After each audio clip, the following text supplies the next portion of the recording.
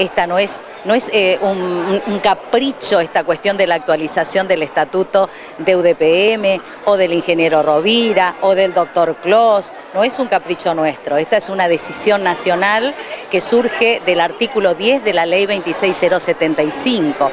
Esta ley autoriza por primera vez a la discusión del contrato de trabajo. Esta ley eh, fue pedida y fue eh, planteada en el ámbito de las paritarias nacionales eh, por todos los gremios del país al Estado Nacional que se habilite a la actualización del contrato laboral o el convenio colectivo, porque nos pasa a todas las provincias que tenemos los estatutos muy antiguos y que no, se, no están adaptándose a, a las nuevas modalidades y niveles, por lo tanto hay muchos colegas que por pertenecer a determinados niveles y modalidades quedan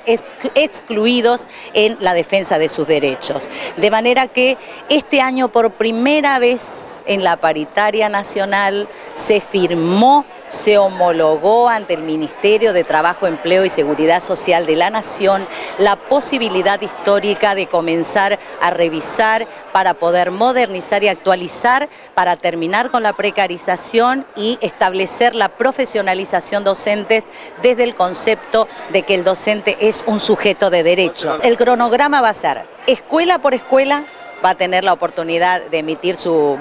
juicio de valor, sus iniciativas, sus ideas. A partir de allí van a haber jornadas de trabajo mesas de debate, audiencias públicas, congreso provincial, en ese congreso todos van a tener la oportunidad de expresarse. Recordemos que hoy por hoy los suplentes, por ejemplo, están marginados de la utilización de las licencias. Supone, tienen que saber ustedes que el nivel inicial no existe, por ejemplo, en la normativa. No puede ser que el nivel inicial esté colgado de una resolución. No puede ser que el régimen de licencia de los trabajadores docentes esté eh, por decreto y no por ley, digamos, cuando es parte de su convenio colectivo. No puede ser que la jornada completa, que la educación rural, que eh, las em, escuelas carcelarias especiales, hospitalarias, no estén en la ley, digamos. No puede ser que no esté previsto el 82% en la ley, no puede ser que no esté previsto el seguro de desempleo para el personal suplente que siempre cesa